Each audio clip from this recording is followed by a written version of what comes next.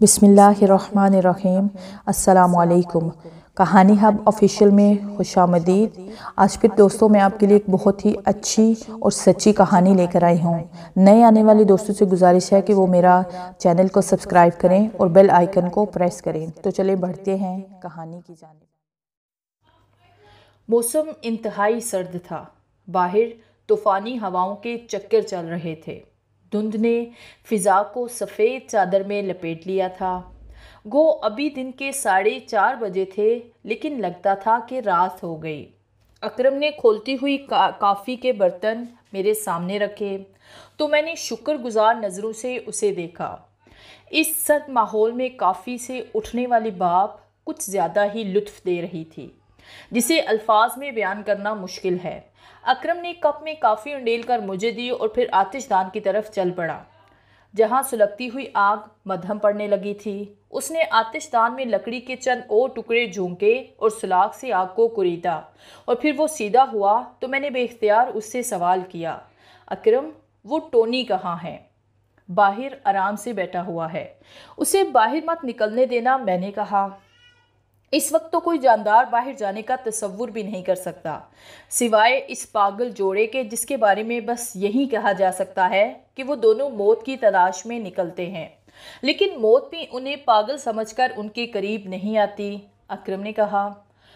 ओह तो क्या वो आज फिर बाहर निकले हैं? मैंने काफ़ी का एक गूंट लेकर पूछा। हाँ दोनों अभी घर के सामने से गुजरे हैं। उन्हें देखकर कभी गुमान नहीं होता कि बाहर इतनी सर्दी है। मेरे दिल में बेख्तियार ख्वाहिश हुई कि मैं इन दोनों को देखूँ। कमाल के लोग थे। आंधी हो, तूफ़ान हो, जब से मैं यहाँ आया था, ठीक साढ़े चार बजे मैं उन्हें ऊँचे नीचे पहाड़ी रास्तों पर एक दूसरे का हाथ पकड़े गुजरते हुए देखता, देखा था। हालाँकि काफ़ी उम्र रसीदा जोड़ा था। मर्द की उम्र किसी तरह सत्तर से कम ना होगी। औरत के सर के बाल भी बर्फ़ की तरह सफ़ेद थे, दोनों मुकामी थे। लेकिन पढ़ी लिखी फैमिली के मालूम होते थे। उनका अंदाज़ा इनके लिबास से होता था।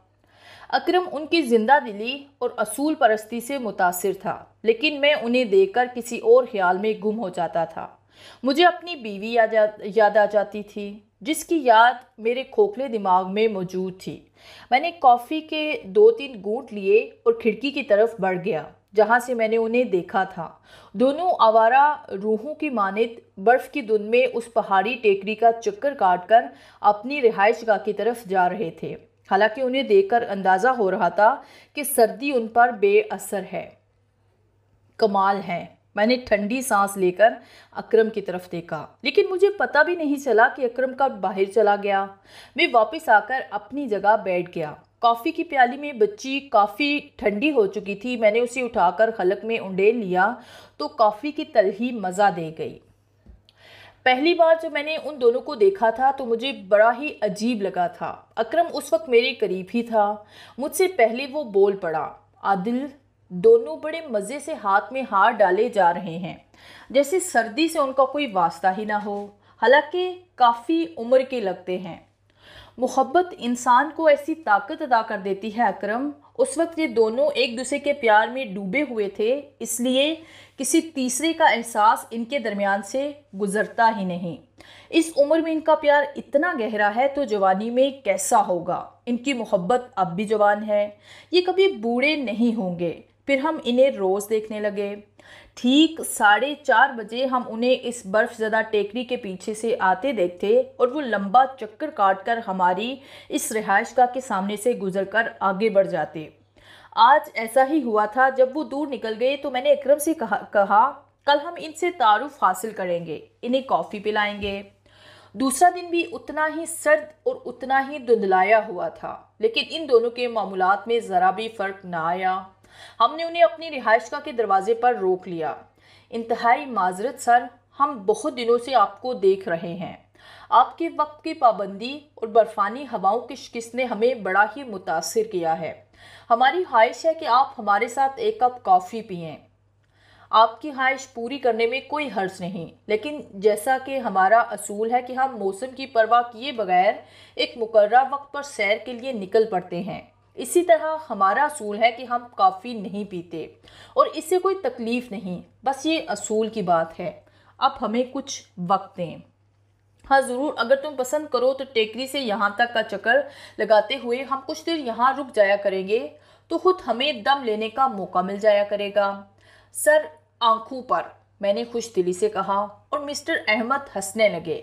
उन्होंने बाद में अपना यही नाम बताया था, क्या अजीब से मुहावरे तश्कील दिए गए हैं इस दुनिया ने। पहली नशिस्त में अहमद ने अपनी उम्र सत्तर साल और अपना नाम अहमद, जबकि अपनी बीवी की उम्र साठ साल बताई थी और उनका नाम सिलानी बताया था। शादी के बाद हम यहाँ आकर बस गए। यहाँ हमने ज़िंदगी का बहुत बड़ा अरसा गुजारा है। दूसरी नशिस्त में उन्होंने बताया कि वो इन दो इन दिनों रिहाइश गाह के लिए परेशान हैं। आपका यहाँ क्याम कहाँ है? मैंने पूछा। तुम्हारी इस क्याम गाह को देखकर हमें बड़ा ही सुकून मिलता है, क्योंकि हम जिस जगह गुजारा कर रहे हैं, वो तुम्हारी इस क्याम गाह से बेहतर है। हम कोशिश कर रहे हैं कि हमें किराए का कोई मुकाम मिल जाए। किराए का घर? हमने चंद दिन पहले ही किराए का घर छोड़ा है। अहमद ने पुरख्याल लहजे में कहा। और मैं हैरान नज़रों से उन्हें देखने लगा। इससे पहले कि मैं इस बारे में उन्हें कुछ कहता, वो बोल पड़े, क्या तुम रूहों, भूतों और जिन पर यकीन रखते हो? जी हाँ मैं यकीन रखता हूँ, पर अभी तक किसी से वास्ता नहीं पड़ा। मेरे लहजे में शायद शोही पैदा हो गई थी। अहमद मुतफिकर नज़रों से मुझे देखने लगा। फिर बोला, तुम्हारे लहजे की शोही मुझे अच्छी लगी। अगर तुम मुझे कुछ अरसा पहले मिले होते तो शायद मैं और सैलानी तुम्हारे साथ मिलकर अरवाह का मज़ाक उड़ाते। लेकिन उन्होंने जुमला अधूरा छोड़ दिया था। मैंने इस लहजे में कहा, क्या आपका वास्ता बदरूहों से पड़ चुका है? क्यों पूछ रहे हो? अहमद ने कहा, बहुत कुछ देखा है दुनिया में, अब अगर कोई खूबसूरत चुड़ैल मिल जाए तो अपने दोस्त अकरम की शादी करवा दूँ। मेरी इस बात पर अहमद ने मुस्कुराने की कोशिश नहीं की, बल्कि उनका चेहरा संजीदा हो गया। वो आतिशदान में रक्स करते हुए शोलू को गूड़ रहे थे, यूँ मालूम होता है कि आप बदरूहों पर यकीन रखते हैं। हाँ पूरी तरह यकीन रखता हूँ। आपसे कुछ अरसा पहले, अगर मुझसे कोई ये सवाल करता तो मैं उस पर खूब हंसता और मज़ाक उड़ाता। लेकिन अब मैं ऐसा नहीं कर सकता, इसका मतलब है कि आपने बदरूहों को देखा है। नहीं, अहमद ने कहा। फिर मैंने और अकरम ने दोनों ने बैक वक्त एक ही ख्याल के तख्त उन्हें देखा। हमें ऐसा लगा कि वो दीवाने हैं और ऐसा हो सकता था। इतने ख़राब मौसम में इस तरह बेखौफी से मटर गश्त करने वाला जोड़ा खुशमंद तो नहीं हो सकता। उसी वक्त हमद अहमद की आवाज़ उभरी बेशक मैंने उन्हें नहीं देखा, लेकिन फिर भी मुझे इन बदरूहों के वजूद का कातिल होना पड़ा है। वो कैसे? मैंने दिलचस्पी से कहा। हम यहाँ सैर करने आए थे और हमें एक आरामदेह और पुरसकून मकान की तलाश थी। चुनाचे हमने उसकी तलाश शुरू कर दी। एक अलग थलग और वीरान इलाके से गुजरते हुए मैंने एक मकान पर किराए के लिए खाली का बोर्ड लगा देखा। हम लोगों ने मकान से अंदर देखा और हैरान रह के कि ये खूबसूरत मकान अब तक खाली क्यों हैं? कुशादा लान और वसी बरामदे हर तरफ़ एक सुकून, आमेज़, खामोशी, बड़ा पुरस्रार माहौल था। हमने उसके बारे में मालूम की और मुतलका आदमी ने हमसे रकम वसूल करके घर की चाबी हमारे हवाले कर दी। सिलानी तो इस मुकाम पर आशिक हो गई थी। ये कहते उसकी ज़ुबान न थकती थी कि घर बेखत खूबसूरत है। लेकिन ये इश्क उस मकान से एक सिर्फ़ दो दिन का था। तीसरे दिन उस पर कपकपी तारी हो गई। ये मकान ठीक नहीं है, अहमद, उसने शदीद खौफसदा लहजे में कहा। वो अल्फाज जो सैलानी की ज़बान से अदा हुए थे, असल में मेरे थे। एक अजीब सी फिजा थी उस मकान में। सैलानी ने बताया कि उसे कुछ नज़र तो नहीं आया, लेकिन किसी पुरस्रार वजूद की मौजूदगी का एहसास ज़रूर हो रहा है। वो कमरा जिसकी चाबी हमें नहीं दी गई थी, मालिक मकान ने एक कमरा बंद किया हुआ था, उस कमरे में क्या था? अकरम ने पूछा, बिल्कुल पता नहीं चल सका, लेकिन जो कुछ था उसी कमरे में था। बदरूहों का भी एक मस्किन होता है। उन्हें भी रहने के लिए कोई जगह पसंद होती है, सो इस घर में वो इनका मस्किन था। मैंने ये बात इस तरह महसूस की कि मैं जब भी इस कमरे के सामने से गुजरता, मेरे पूरे बदन में ठंडी लहरें उतर जाती। मेरा रवा रवा कांपने लगता, चेहरा पसीने में डूब जाता, दिल जैसे कोई मुट्ठी में दबा लेता हो। यही कैफियत सैलानी की होती, इब्तदा में तो हम बस हैरान हुए। इस बारे में गुफ्तगु करते हुए हमने नहीं सोचा कि ये शायद नए मकान के असरात हैं। लेकिन जब हमने उस बुढ़िया को देखा, तब पहली बार हमें खौफ का एहसास हुआ। बुढ़िया? मेरे मुँह से बेख्तियार निकला। हाँ उसकी उम्र का अंदाज़ा लगाना मुश्किल था, शायद सौ साल से भी ज़्यादा थी। एक इस्तेहवानी ढांचे के सिवा कुछ भी नहीं था। वो गढ़ के उकबी हिस्से में चलती फिरती नज़र आई। हम हैरान रह गए, क्योंकि मरकजी दरवाज़ा बंद था, फिर वो कहाँ से आती? मैं तो यहीं रहती हूँ, इधर पीछे वाली कोठरी में गुल मेरा हर तरह का ख्याल रखता है। उसने कहा है कि अम्मा बस यही तुम्हारा घर है, यहाँ से कहीं भी जाने का इरादा मत करना। बूढ़ी ने कामती आवाज़ में कहा, वो इंतहा दर्जे की बदसूरत बुढ़िया थी और उसके बदन से शदीद शदीद बदबू उठ रही थी। ऐसी बदबू जैसे मुर्दा अजसाम से उठती है। लेकिन हमारी हैरत की इंतहा न थी कि घर का दरवाज़ा हमने खोला था। कई दिन से उस घर में रह रहे थे, लेकिन इससे पहले उस बुढ़िया को नहीं देखा था। वैसे जिस शख्स ने हमें इस मकान की चाबी दी थी और हमसे मकान का किराया लिया था, मकान के मालिक का नाम गुल था। उस घर का कोई खुफिया दरवाज़ा भी है। अम्मा जी, जहाँ से आप आती जाती हैं, बात यह है कि हमने पहले आपको कभी भी नहीं देखा। मैं बाहर जाती ही नहीं। ज़रूरत ही पेश नहीं आती। वो मेरा हर तरह से ख्याल रखते हैं। कौन? कौन आपका ख्याल रखते हैं? सिलानी ने कहा। और बुढ़िया मुस्कुराकर खामोश हो गई। अम्मा जी क्या इस इलाके में बदरूहें भी हैं? सिलानी ने खौफ से कहा। हाँ बदरूहें जो बरसों से यहाँ आबाद हैं और मैं उनके साथ ही रहती हूँ। पहले उन्होंने ये कोशिश की कि मैं ये घर छोड़ दूँ, लेकिन मैं भी धुन की पक्की हूँ। बाद में उन्होंने मुझसे समझौता कर लिया। लेकिन सिर्फ़ मुझसे, दूसरे आने वालों से वो कभी समझौता नहीं करते और आखिरकार उन्हें घर छोड़कर जाना पड़ता है। लेकिन मेरी बात और है। मैंने इनसे मुआहिदा कर लिया है कि मरने के बाद भी मैं इनके साथ शामिल हो जाऊँगी बदरूह बन जाऊँगी। ये कहकर वो ऐसी ज़ोरदार आवाज़ से हँसी थी कि हमारे जिस्मों पर लर्जा तारी हो गया। हमें एहसास हो रहा था कि वो भी बदरूह है। फिर क्या हुआ? अकरम ने बेसब्री से पूछा। बस सिलानी ने खाना पीना छोड़ दिया। वो इस घर में एक पल के लिए भी रहने को तैयार न थी, इसलिए मैंने भी वो घर छोड़ दिया। और कितना वक्त गुजर गया। हमें एहसास नहीं हुआ। अच्छा तो आप इजाज़त, अहमद ने कहा और वो दोनों इन लोगों की तरह बगैर रस्मी सलाम दुआ के चले गए। दरवाज़ा खुलने से यक बस्ता हवा फराटे भरती अंदर दाखिल हुई और अकरम जल्दी से उठ गया। उसने फुर्ती से दरवाज़ा बंद कर दिया। कमरे की महसूस किसकी से मैंने उन दोनों को बर्फानी धुंध में इतमान से जाते हुए देखा। मुझे तो ये दोनों भी बदरूहें मालूम होती हैं, अकरम खौफजदा लहजे में बोला। मगर तुम ये देखो कि दोनों में कितना प्यार है। फिर मैंने कहा, अकरम, क्यों ना हम भी इस मकान में कुछ वक्त गुजारें? ज़िंदगी में काफ़ी तजुर्बे किए हैं, ये एक तजुर्बा और सही। बाज़ तजुर्बात जानलेवा भी साबित हो जाते हैं। जान तो जाने के लिए ही होती है, जैसे भी जाए।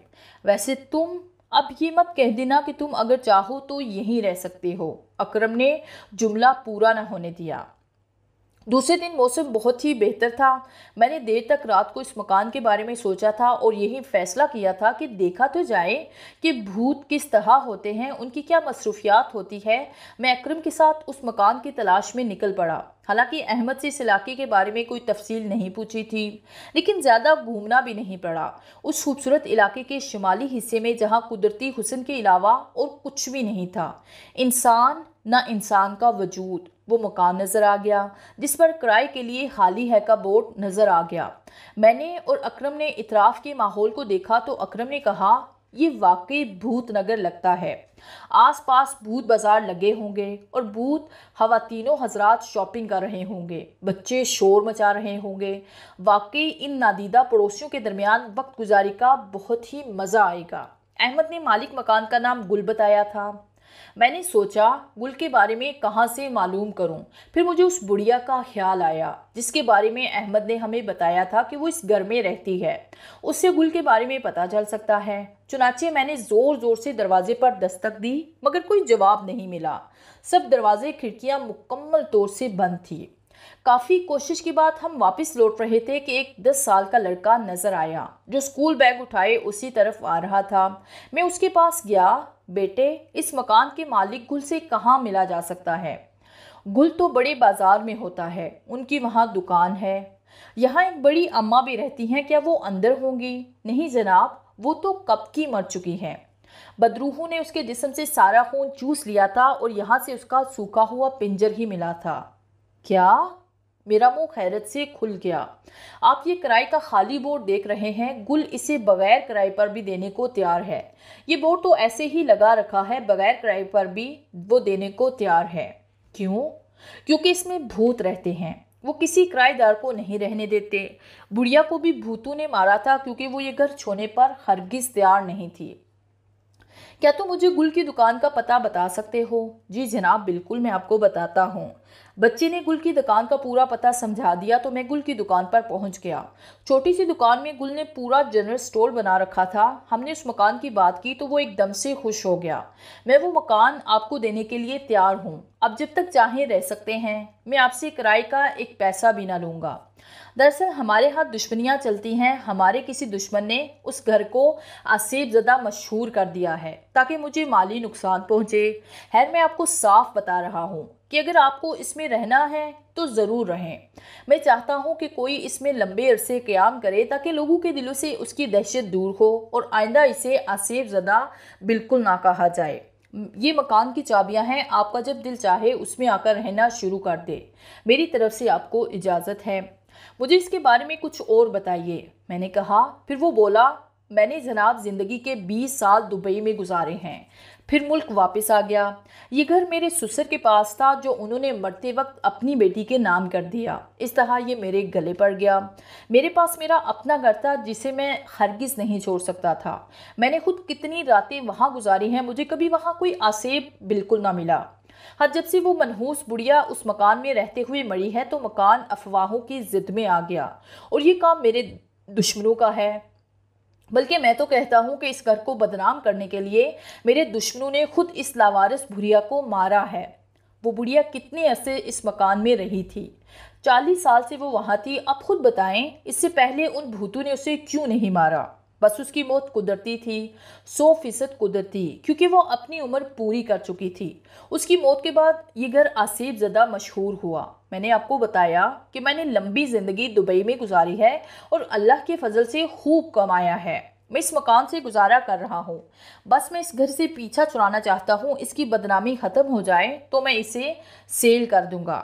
ठीक है, मैं वहाँ रहने पर तैयार हूँ।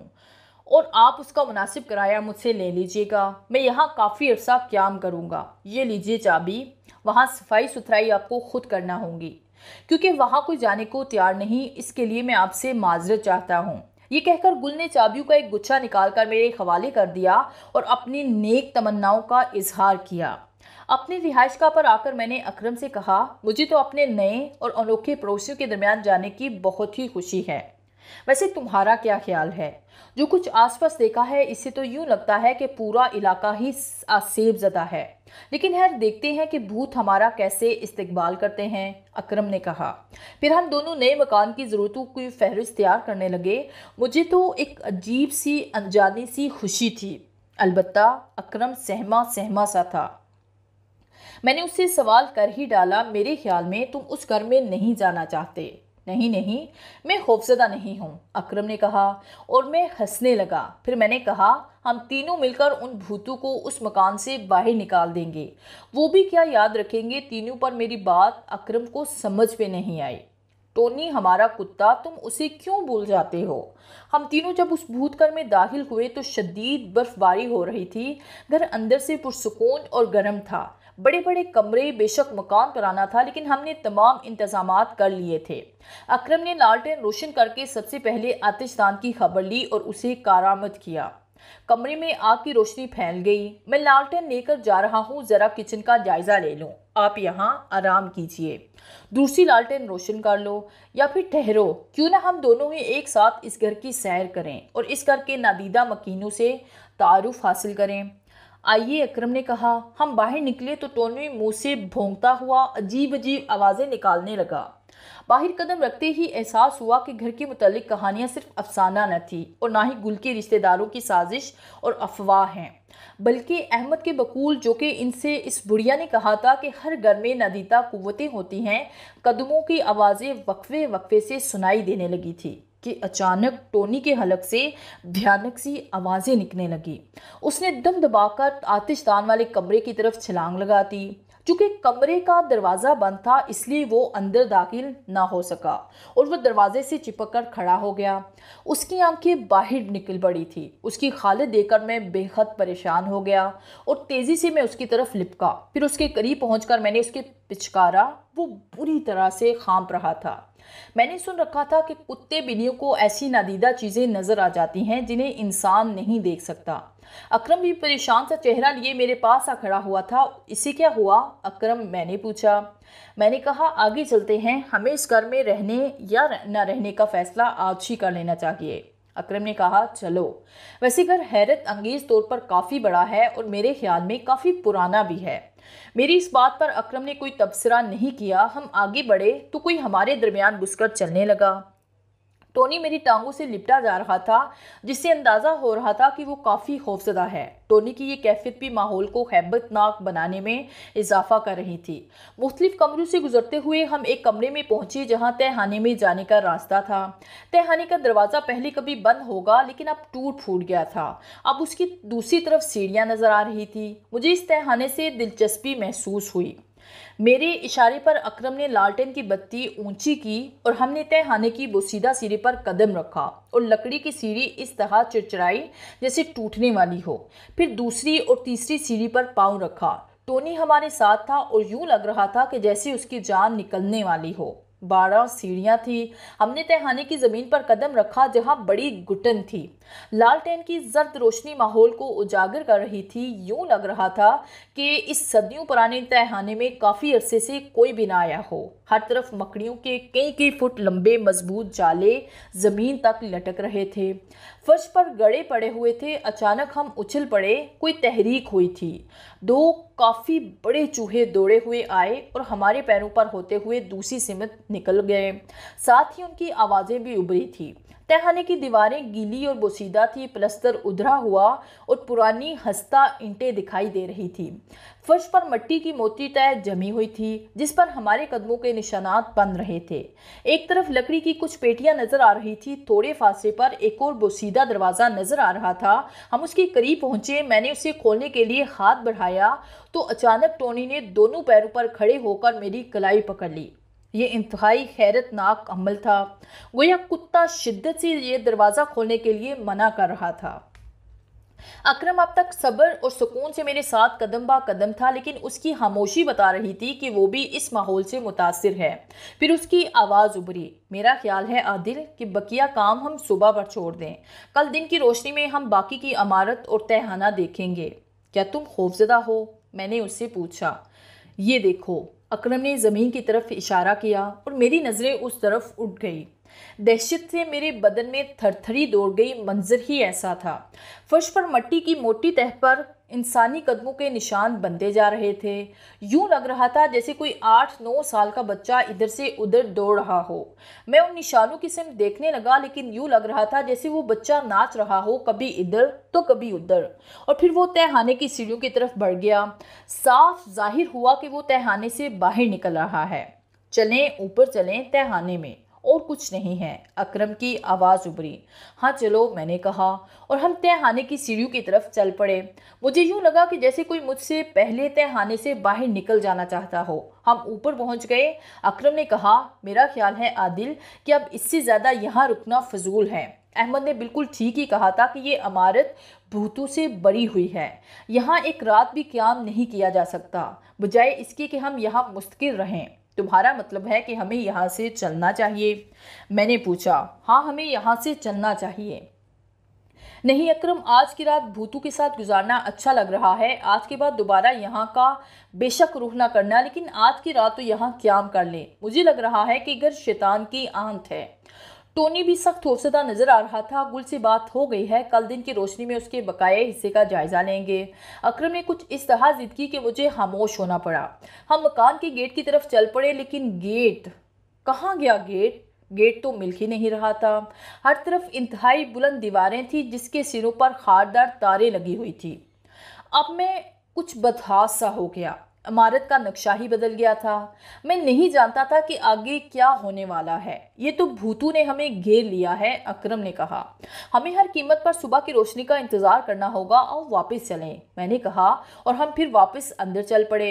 इमारत बदस्तूर सन्नाटे में डूबी हुई थी, मैंने अकरम से कहा, हम भूतू से खौफजदा होने का अहद करके इस इमारत में दाखिल हुए थे, लेकिन तुम इस अहद पर कायम नज़र नहीं आ रहे।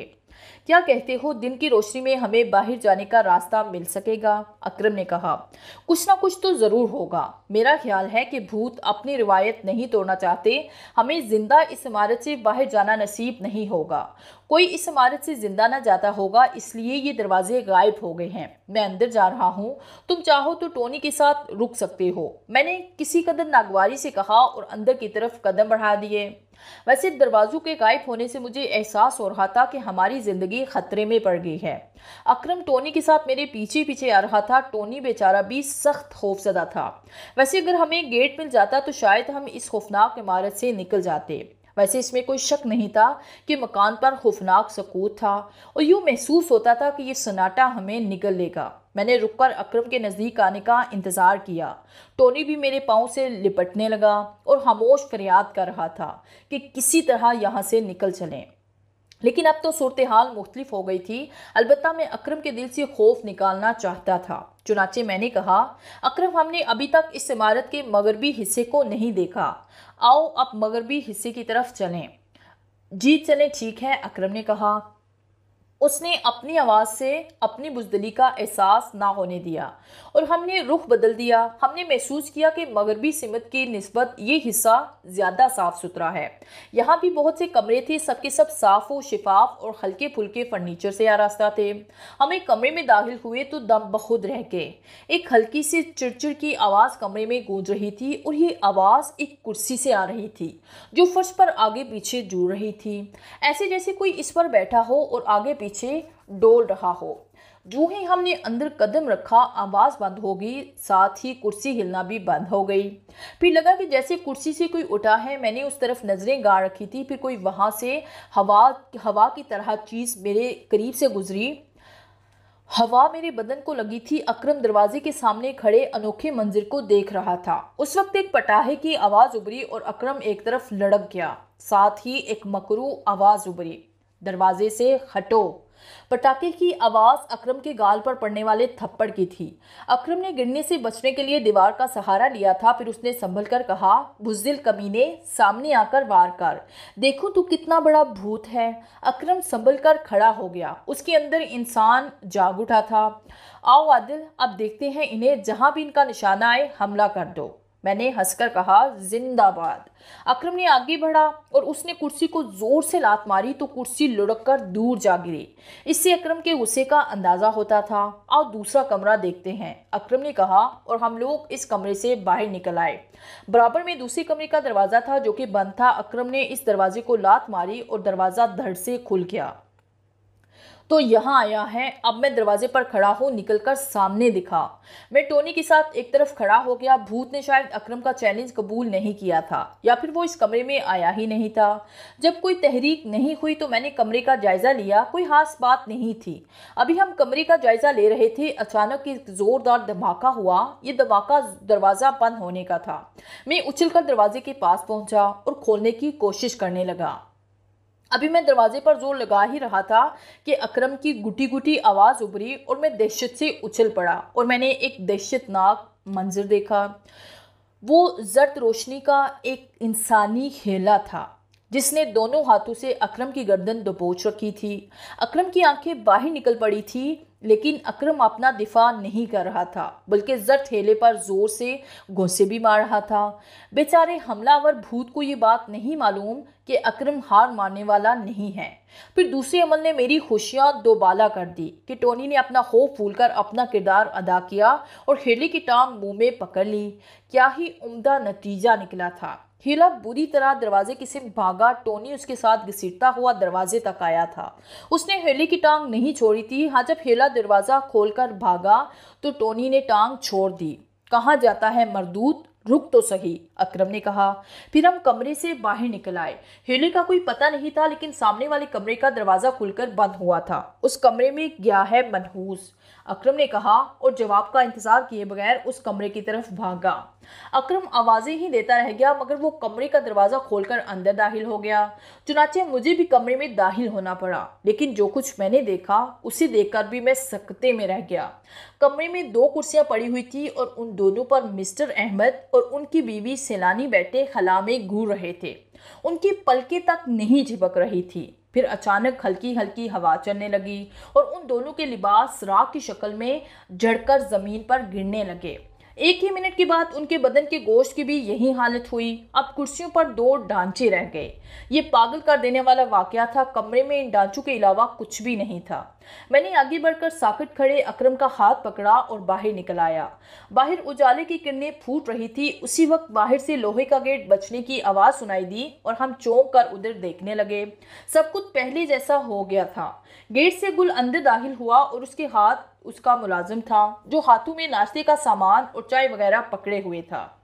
ओए खुदा, खैर करे, आज नाश्ता गुल की तरफ़ से अब आप आराम से रहो। हम आपसे एक साल तक का किराया नहीं लेगा। हमने गुस्से से से घूरा और बाहर निकल आए। उस शाम जबकि हम अपनी पुरानी रहायशगाह में बैठे खिड़की के बाहर बर्फबारी देख रहे थे कि अचानक अकरम ने मेरा शाना दबाया और मैं उसके इशारे की तरफ़ देखने लगा। टेकरी के पीछे से मिस्टर अहमद और उनकी बीवी सैलानी एक एक दूसरे का हाथ पकड़े पुरसकून कदम